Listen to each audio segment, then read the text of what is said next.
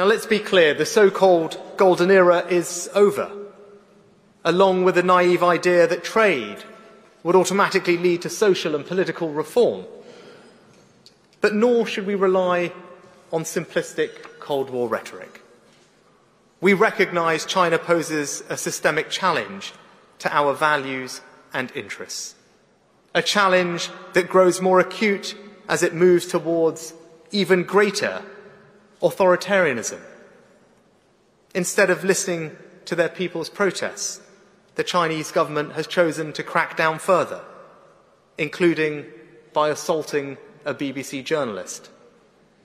The media and our parliamentarians must be able to highlight these issues without sanction, including calling out abuses in Xinjiang and the curtailment of freedom in Hong Kong. The pace of geopolitical change is intensifying. Our adversaries and competitors plan for the long term. After years of pushing at the boundaries, Russia is challenging the fundamental principles of the UN Charter. China is conspicuously competing for global influence using all the levers of state power.